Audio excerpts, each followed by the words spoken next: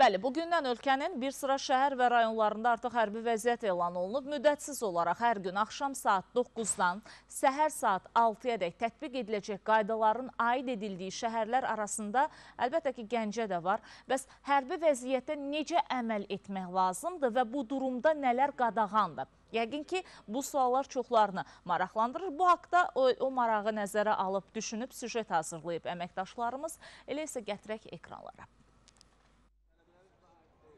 Tətbiq edilən hərbi vəziyyət müharibə dövründə təhlükəsizliyin təmin edilməsi məqsədi ilə atılan addımdır. Hər bir vəziyyətin qanuna uyğunluqları olduğu kimi, müharibə dövrünün də bir çox öhdəlikləri var ki, hərbi vəziyyət də bunların başında gəlir. Komendant saatının tətbiq edildiyi ərazilərdə şəxslərin xüsusi icazə və şəxsiyyəti təsdiq edən sənədləri olmadan küçələrdə və digər ictimai yerlərdə olmaları qadağan edilir.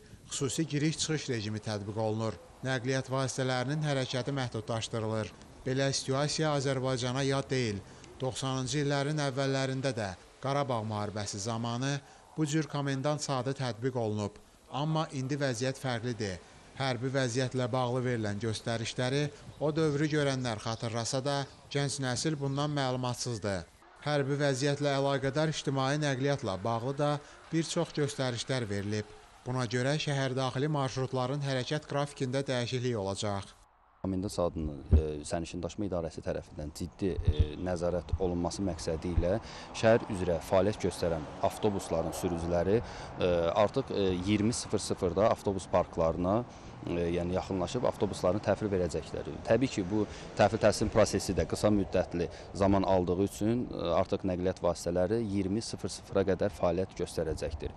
E, bu avtobusların sürücülərinin də komendant saatının pozulmaması məqsədi ilə evlərinə çatdırılması üçün xüsusi növbəli şəkildə avtobuslar verilmişdir sərnişin daşıma idarəsi tərəfindən. Artıq 21:00-a qədər 00-ədək həmin sürücülər öz ünvanlarına, mənzil başlarına rahatlıqla çata biləcəkdir. Bu gün həmçinin Azərbaycanda qismən səfərbərlik də elan olunub. Qərarı uzun zamandır ki, gözləyənlər buna seviniblər.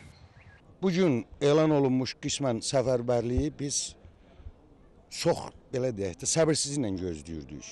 Çox sevindim. Həqiqi sevindim.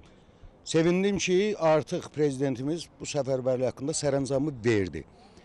Və biz hazırıq və biz gözləyirik. Bir saat sonra mı, bir dəqiqə sonra mı hazır hər birimiz. Yəni bizim batalyon uşaqlar, gəncləri demirəm, mənim də oğlumdur, bu gözləyir bu heç, hərbi biletini cibində gəzdirir. Mən də eynən. Yəni biz hazır gözləyirik. Hazırki dövrlə 90-cı illəri müqayisə edən Qarabağ qazisi fərqlərin böyük olduğunu deyib.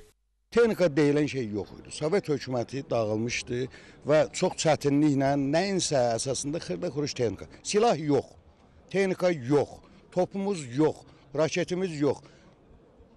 Can hesabına aid o döyüşlər. Bu gün o vaxtki müharibə ilə bugünkü hazırlığımıza müharibəyə baxanda o vaxt adama doğrudan gülünc gəlir. Amma bu gün müasir texnika istənilən səviyyədə dünyanın ən müasir texnologiyalarından çıxmış hərbi texnikalar bizdə.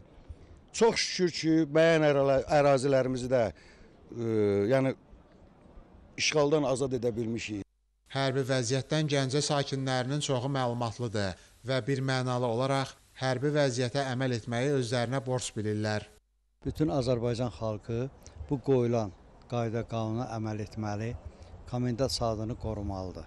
Bu komendant saatını çox adam ola bilsin ki, anlamır ki, bunların xeyri üçündür. Komendant saatı 90-cı illərdə də olmuşdu. Biz o həyatı yaşamışıq o vaxtı.